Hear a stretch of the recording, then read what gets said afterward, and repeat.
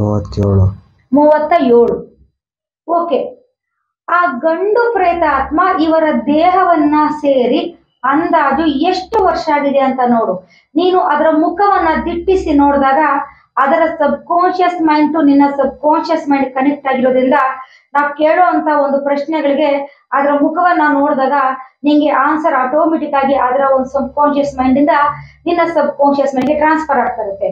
ಎಷ್ಟು ವರ್ಷ ಆಗಿದೆ ಅದು ಬಂದು ದೇಹಕ್ಕೆ ಸೇರಿ? ಮೂರು ಎರಡು ಒಂದು ಸೊನ್ನೆ ಗೋ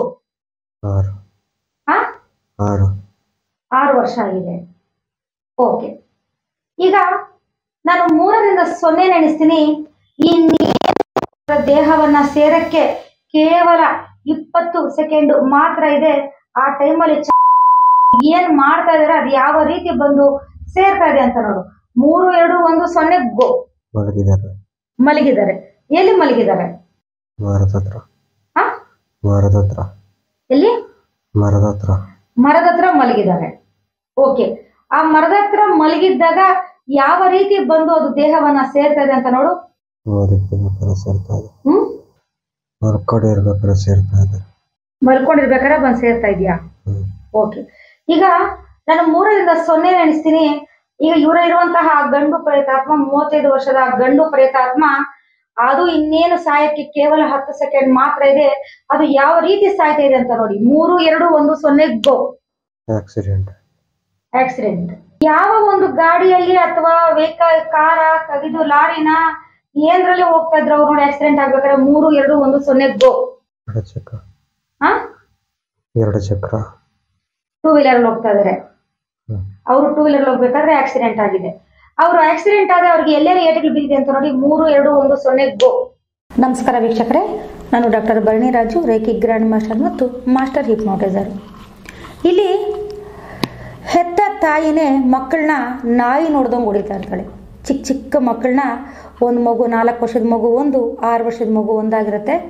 ಯಾವಾಗಲೂ ಮಕ್ಕಳನ್ನ ಹೊಡೆಯೋದು ಅದು ನೈಟ್ ಹೊತ್ಲಂತೂ ರಾತ್ರಿ ಹನ್ನೆರಡು ಗಂಟೆಗೆ ಹೊಡಿಯೋಕ್ಕೆ ಸ್ಟಾರ್ಟ್ ಮಾಡಿದ್ರೆ ಬೆಳಗಿನ ಜಾವ ತನಕ ಮಕ್ಕಳನ್ನ ಹೊಡಿತಾನೆ ಇರ್ತಾರೆ.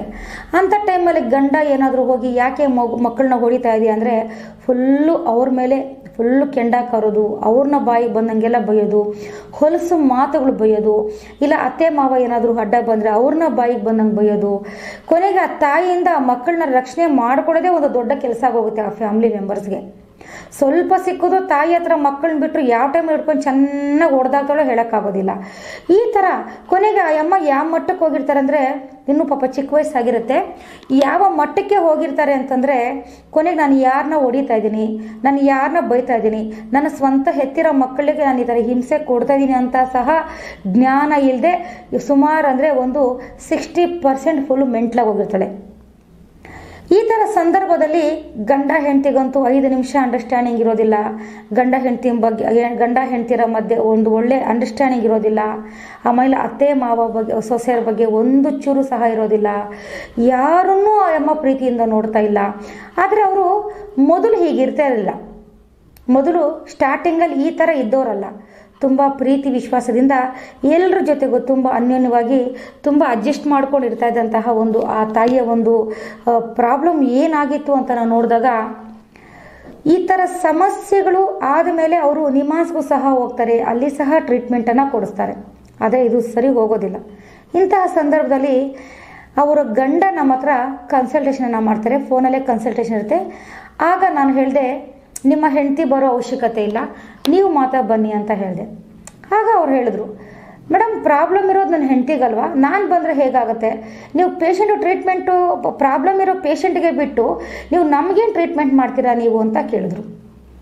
ಖಂಡಿತ ಅವ್ರ ಕ್ವಶನ್ ಸರಿಯಾಗಿತ್ತು. ಆದರೆ ಇಲ್ಲಿ ಒಂದು ಅರ್ಥ ಮಾಡ್ಕೊಳ್ಳಿ. ಒಂದು ಹಿಪ್ನೋಟೈಸನ್ನು ಮಾಡಬೇಕಂದ್ರೆ ಯಾವುದೇ ಒಂದು ವ್ಯಕ್ತಿ ಸಂಪೂರ್ಣವಾಗಿ ನಾನು ಹಿಪ್ನೋಟೈಸ್ ಆಗಬೇಕು, ನನ್ನಲ್ಲಿರುವಂತಹ ಸಮಸ್ಯೆಗಳು ಆಚೆ ಹೋಗಬೇಕು, ಈ ಸಮಸ್ಯೆಯಿಂದ ನಾನು ಸಂಪೂರ್ಣವಾಗಿ ಹೊರಗಡೆ ಬರಬೇಕು ಅಂತ ಇರಬೇಕು. ಅದು ಎಂಥ ಸಂದರ್ಭದಲ್ಲಿ ಇರುತ್ತೆ ಅಂದರೆ ಒಂದು ಪೇಷಂಟ್ಗೆ ಒಂದು ಐವತ್ತು ಪರ್ಸೆಂಟು ಇವರ ಮೈಂಡು, ಒಂದು ಐವತ್ತು ಪರ್ಸೆಂಟು ಪ್ರೇತಾತ್ಮದ ಮೈಂಡ್ ಇದ್ದಾಗ ಇವರ ಒಂದು ಸಬ್ಕಾನ್ಷಿಯಸ್ ಮೈಂಡ್ ವರ್ಕ್ ಆಗ್ತಾ ಇರುತ್ತೆ. ಅಂದರೆ ನಾನು ಈ ಸಮಸ್ಯೆಯಿಂದ ಹೊರಗಡೆ ಬರಬೇಕು ಅಂತ. ಆ ಐವತ್ತು ಪರ್ಸೆಂಟ್ಗಿನ್ನ ಜಾಸ್ತಿ ಅಂದರೆ ಎಪ್ಪತ್ತು ಪರ್ಸೆಂಟು, ಎಂಬತ್ತು ಪರ್ಸೆಂಟು, ತೊಂಬತ್ತು ಪರ್ಸೆಂಟು ಪ್ರೇತಾತ್ಮದ ಸಬ್ಕಾನ್ಷಿಯಸ್ ಮೈಂಡ್ ವರ್ಕ್ ಆಗ್ತಾ, ಈ ಒಂದು ಮನುಷ್ಯನ ಸಬ್ಕಾನ್ಷಿಯಸ್ ಮೈಂಡ್ ವರ್ಕ್ ಕೇವಲ ಹತ್ತು ಪರ್ಸೆಂಟು, ಐದು ಪರ್ಸೆಂಟ್ ವರ್ಕ್ ಆಗ್ತಾ ಇದ್ರೆ ಆ ವ್ಯಕ್ತಿಗಳಿಗೆ ಈ ಸಮಸ್ಯೆಯಿಂದ ಹೊರಗಡೆ ಬರಬೇಕು ಅನ್ನೋ ಆಲೋಚನೆ ಕೂಡ ಇರೋದಿಲ್ಲ. ನಾನು ಇರೋದೇ ಹೀಗೆ. ನನ್ನ ಬಿಹೇವಿಯರ್ ಹೀಗೆ. ನಾನು ಕರೆಕ್ಟಾಗಿ ಮಾಡ್ತಾ ಇದ್ದೀನಿ. ನಂದೇನು ತಪ್ಪಿಲ್ಲ. ನಾನು ಸರಿ ಇದ್ದೀನಿ. ಇಲ್ಲಿರೋರೇ ರಾಂಗ್ ಇದ್ದಾರೆ ಅನ್ನೋ ಥರ ಅದು ಮೈಂಡು ಪ್ರೇತಾತ್ಮಕ್ಕೆ ಕನ್ವರ್ಟ್ ಆಗೋಗಿರುತ್ತದು. ಆದ್ರಿಂದ ಅಂಥ ವ್ಯಕ್ತಿಗಳನ್ನು ನಾವು ಏನೂ ಮಾಡೋಕ್ಕಾಗಲ್ಲ ಡೈರೆಕ್ಟಾಗಿ ಯಾಕೆ ಅಂತಂದರೆ, ಇಲ್ಲಿ ಸಬ್ಕಾನ್ಷಿಯಸ್ ಮೈಂಡ್ ಸಂಪೂರ್ಣವಾಗಿ ಸ್ಪಂದಿಸಿ ಹೊರಗಡೆ ಬರಬೇಕು ಅಂದಾಗ ಅವ್ರಿಗೆ ನಾವು ಹಿಪ್ನೋಟೈಸ್ ಮಾಡಿ, ಈ ಥರ ನೀನು ಬೇಡ, ಹೀಗಿರು ಅಂತ ನಾವು ಅವ್ರ ಮೈಂಡನ್ನು ನಾವು ಹೊರಗಡೆ ಕರ್ಕೊಂಬರ್ಬೋದು ಉದಾಹರಣೆಗೆ, ಗಂಡ ಅಂದ್ರೆ ಇಷ್ಟ ಇರೋದಿಲ್ಲ, ಅದು ಮೈಂಡ್ ಡೈವರ್ಟ್ ಮಾಡ್ಬೋದು.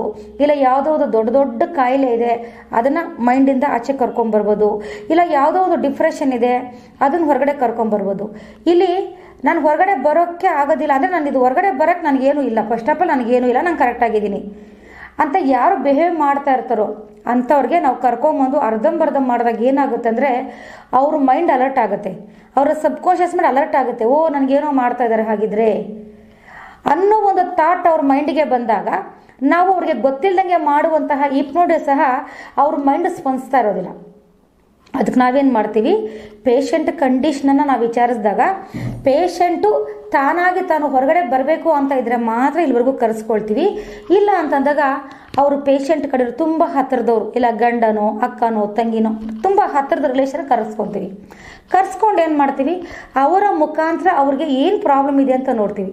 ಅದೇ ಥರ ಇಲ್ಲಿ ಗಂಡನ ಮುಖಾಂತರ ಹೆಂಡತಿಗೆ ಏನು ಪ್ರಾಬ್ಲಮ್ ಇತ್ತು ಅಂತ ನೋಡಿದ್ವಿ. ಇಲ್ಲಿ ಎರಡು ಪ್ರೇತಾತ್ಮಗಳಿರುತ್ತೆ. ಎರಡೂ ಪ್ರೇತಾತ್ಮಗಳು ಸಹ ತಲೆಗೆ ಪೆಟ್ಟು ಬಿದ್ದು ಸತ್ತಿರುವಂತಹ ಪ್ರೇತಾತ್ಮಗಳಾಗಿರುತ್ತೆ. ಅದರ ವಿಡಿಯೋ ಕ್ಲಿಪ್ಸನ್ನು ಸಹ ನೀವು ನೋಡ್ಬೋದು. ಈ ಥರ ಸಮಸ್ಯೆಗಳಿದ್ದಾಗ ಏನಾಗುತ್ತೆ ಅಂತಂದರೆ, ಯಾವಾಗ ತಲೆಗೆ ಪೆಟ್ಟು ಬಿದ್ದು ಸತ್ತಿರುವಂತಹ ಪ್ರೇತಾತ್ಮಗಳು ಇವರ ದೇಹದಲ್ಲಿ ಇರುತ್ತೋ, ಅವಾಗ ಎರಡು ಥರ ಪ್ರಾಬ್ಲಮ್ ಆಗುತ್ತೆ. ಏನು? ಒಂದು ಪ್ರಾಬ್ಲಮ್ ಏನು? ಅವ್ರಿಗೆ ಆಲ್ರೆಡಿ ತಲೆಗೆ ಏಟು ಬಿದ್ದು, ಅಲ್ಲಿ ಆಲ್ರೆಡಿ ಅವ್ರ ಮೈಂಡ್ ಅಲ್ಲೇನೋ ಒಂದು ಸಮಸ್ಯೆ ಆಗಿರುತ್ತೆ ತಲೆಗೆ ಏಟು ಬಿದ್ದಾಗ. ಎರಡನೇದು, ಅವರು ಬದುಕಿದ್ದಾಗ ಅವ್ರ ಸ್ವಭಾವ ಹೇಗಿತ್ತು ಅಥವಾ ಅವರು ಮುಂದಕ್ಕೆ ಯಾವ ರೀತಿ ವರ್ತನೆ ಮಾಡುವಂತಹದ್ದು ಒಂದು ಬ್ಯಾಲೆನ್ಸ್ ಇತ್ತು, ಅವ್ರು ಅನುಭವಿಸೋದು ಬ್ಯಾಲೆನ್ಸ್ ಇತ್ತು. ಅದೆಲ್ಲ ಸಹ ಈ ಒಂದು ದೇಹದ ಮೇಲೆ, ಈ ಒಂದು ಸಬ್ಕಾನ್ಷಿಯಸ್ ಮೈಂಡ್ ಮೇಲೆ ಪ್ರಭಾವವನ್ನು ಬೀರ್ತಾ ಇರುತ್ತೆ. ಹೀಗಿದ್ದಾಗ ನಾವು ಪೇಷಂಟ್ ಕಡಿಯವರನ್ನ ಕೆಲವಾರು ಸಂದರ್ಭಗಳು ನಾವು ಹೇಳ್ತೀವಿ ಪೇಷಂಟ್ ಹೆಂಗೆ ಕರ್ಕೊಂಬರು ನೀವೇ ಬನ್ನಿ ಅಂತ. ತುಂಬ ಜನ ಕೇಳ್ತಾರೆ, ಏನು ಮೇಡಮ್ ನಾವು ಕರ್ಕೊಂಡು ಏನು ಮೇಡಮ್ ಮಾಡ್ತೀರಾ? ಪೇಷಂಟ್ ಮನೇಲಿ ಬಿಟ್ಟು ನಾವು ಬಂದು ಏನು ಮಾಡ್ತೀವಿ? ಅಂತ. ಖಂಡಿತವಾಗ್ಲೂ ಅದೇ ನಿಜವಾದ ದಾರಿ. ಅಂದರೆ ಮೆಂಟಲ್ ಸಮಸ್ಯೆ ಇರೋರು ನಾನು ಹೇಳ್ತಾ ಇರೋದು. ಕಾಯಿಲೆ ಇರೋರಿಗೆ ಸಮಸ್ಯೆ ಇರೋರಿಗೆ ಅಲ್ಲ. ಅಂಥವ್ರು ನಾವು ಬೇಕಾದ್ರೆ ರೇಖಿ ಯಾರಿಗಾದರೂ ಮಾಡಿ ವರ್ಕ್ ಆಗುತ್ತೆ. ಬೇಕಾದ್ರೆ ಆ ಮನುಷ್ಯಂಗೆ ರೇಖಿ ಮಾಡ್ಕೋಬೇಕಂತ ಇಷ್ಟ ಇಲ್ಲ ಅಂದ್ರೂ ಸಹ ಅವ್ನು ಪಾಡ್ಗೆ ಅವ್ನು ಮಲಗಿದ್ದಾಗ ರೇಖಿ ಮಾಡಿದ್ರೆ ಅದು ಕನೆಕ್ಟ್ ಆಗುತ್ತೆ. ಬಟ್ ಹಿಪ್ನೋಟೈಸ್ ಹಂಗಲ್ಲ. ಇಲ್ಲ ವ್ಯಕ್ತಿ ಪೂರ್ತಿಯಾಗಿ ಸ್ಪಂದಿಸಬೇಕು, ಇಲ್ಲ ಅವನಿಗೆ ಗೊತ್ತಿಲ್ಲದಿರೋ ಥರ ನಾವು ಮಾಡಬೇಕಾಗುತ್ತೆ. ಇದು ವಿಡಿಯೋ ಕ್ಲಿಪ್ಸ್ ಎಲ್ಲ ನೀವು ನೋಡಿರ್ತೀರಾ? ಯಾವ ಥರ ಸ, ಯಾವ ಥರ ಪ್ರಾಬ್ಲಮ್ ಬಂದಾಗ ಯಾವ ಥರ ಆಗುತ್ತೆ? ಈ ಥರ ಮನೇಲಿ ಇದ್ದಕ್ಕಿದ್ದಂಗೆ ಹುಚ್ಚಿರ್ತಾರ, ಆಡೋಕ್ಕೆ ಕಾರಣ ಏನು ಅಂತ ನೀವು ಈ ವಿಡಿಯೋ ತಿಳ್ಕೊಂಡಿರ್ತೀರಾ? ದಯವಿಟ್ಟು ಈ ಥರ ಸಮಸ್ಯೆಗಳಿದ್ದಾಗ ರೇಖೆ ಮತ್ತು ಹಿಪ್ನೋಡಿಸನ್ನು ಕಲ್ತ್ಕೊಂಡಿದ್ರೆ ಇಂಥ ಸಮಸ್ಯೆಗಳಿಂದ ನಿಮ್ಮ ಕುಟುಂಬವನ್ನು ರಕ್ಷಣೆ ಮಾಡ್ಕೋಬೋದು ಮತ್ತು ನಿಮ್ಮನ್ನು ನೀವು ರಕ್ಷಣೆ ಮಾಡ್ಕೋಬೋದು. ದಯವಿಟ್ಟು ಎಲ್ಲರೂ ರೇಖಿ ಮತ್ತು ಹಿಪ್ನೋಟಿಸನ್ನು ಕಲೀರಿ ಅಂತ ಹೇಳ್ತಾ ಈ ಒಂದು ಚಾನಲ್ ನಿಮ್ಗೆ ಇಷ್ಟ ಆಗಿರೋ ದಯವಿಟ್ಟು ಸಬ್ಸ್ಕ್ರೈಬ್ ಮಾಡ್ಕೊಳ್ಳಿ, ಲೈಕ್ ಮಾಡಿ, ಶೇರ್ ಮಾಡಿ ಅಂತ ಹೇಳ್ತಾ ನಮಸ್ಕಾರ ವೀಕ್ಷಕರೇ.